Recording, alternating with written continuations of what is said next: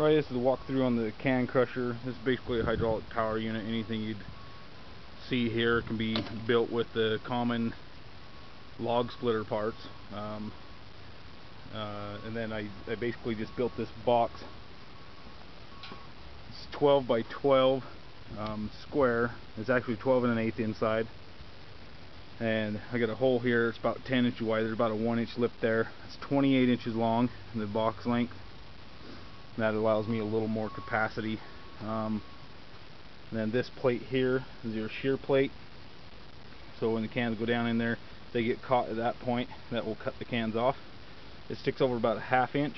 I've got about a one inch lip there, about a one inch lip there, and of course the crushing chamber, which is almost ready to be emptied. Um, this is just metal mesh, anything you could use.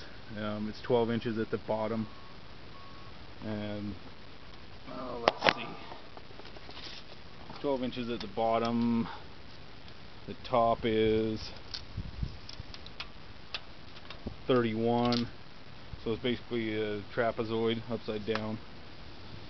Like I said the chamber is 28 inches long and that box that this slides into the door and whatnot is uh, basically just barely under 12 so there's about an eighth inch of clearance all the way around um, this three quarter inch plate by six inches that holds the rear of the pin. This angle on here is three by six three by six and just what I had laying around. Threw it on there to basically hold that one piece in. Um, now I welded it to the side of the box. Just kind of threw it together. Then on my pressure plate inside I've got a half inch plate that's on the front of that ram I don't know if you can see that very well.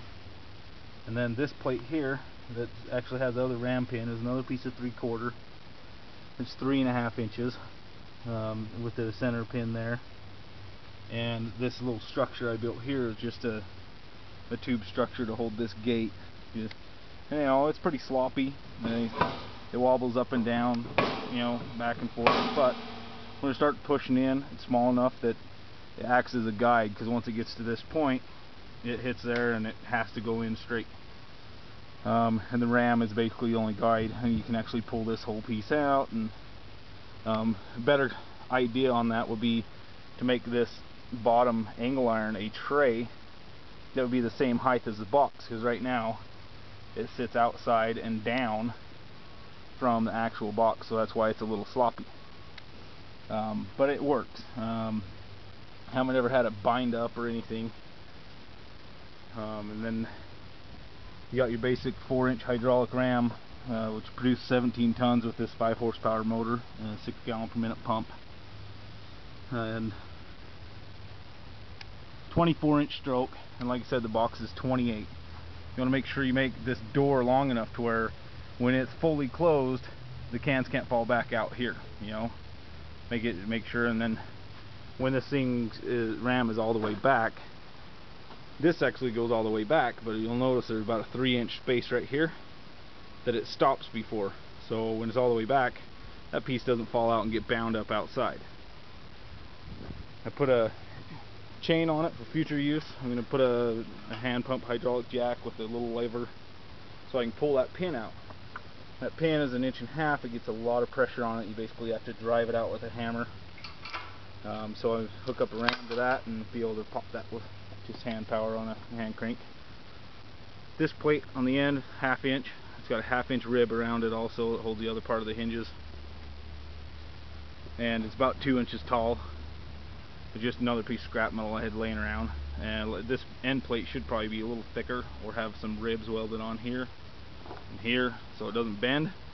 So as you can see it's still got pressure on it even though the ram's not on. It's got a good quarter inch gap there because all those cans are so squished in there. That's why you have to drive these pins out and that's a future little deal. I didn't do it for cosmetics. I just kind of, like I said, build it out of scrap. Um, later on I will uh, wrap the side here and enclose it. Put a label on it and you know, maybe something clever. I don't know, name it. um, and the piece of angle iron there, they are 3 by 6 They're 5 16ths thick um, because they're all under tension load.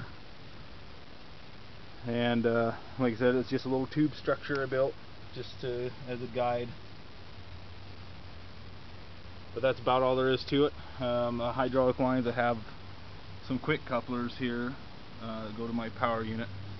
Um, so the nice thing about having quick couplers if you guys have some you know tractors or whatnot you can uh, basically pull the skid steer right up to it. If you got a quick coupler attachment plug it in you run the hydraulics off of that. Or even a some of these uh, farm tractors have uh, these uh, quick couplers on the front and you plug them into that. And